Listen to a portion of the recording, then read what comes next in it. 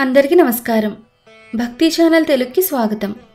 మన ఇంటి చుట్టూ ఈ మొక్కలు నాటితే ఎంత ప్రమాదమో తెలుసా? కొన్ని మొక్కలు మన ఇంటి చుట్టూ ఉండడం చాలా ప్రమాదం. సాధారణంగా చాలామంది ఇంటి చుట్టూ మొక్కలు పెంచుతూ ఉంటారు. అయితే అలాంటి మొక్కల్లో కొన్ని మొక్కల వద్ద పాములు నివసిస్తూ ఉంటాయి. జాస్మిన్ మొక్కల దగ్గర పాములు నివసించే అవకాశాలు ఎక్కువగా ఉన్నాయి. ఎందుకంటే మల్లె మొక్క చాలా దట్టమైంది.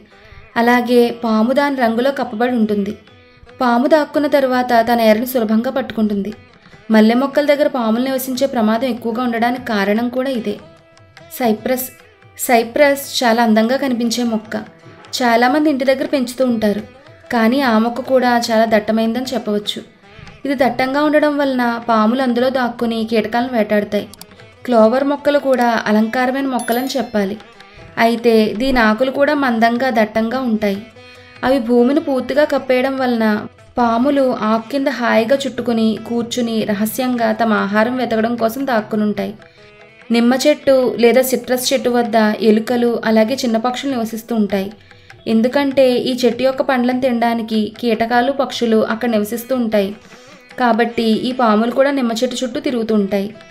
ఇక దేవదారు వృక్షాలు కూడా చాలా ఎత్తైన ప్రదేశాల్లో పెరిగినప్పటికీ మైదానాల్లో కూడా కొన్ని సంవత్సరాల పాటు ఉంటాయి. అందుకే మైదానంలో చాలామంది దేవదారు చెట్లను నాటుతుంటారు.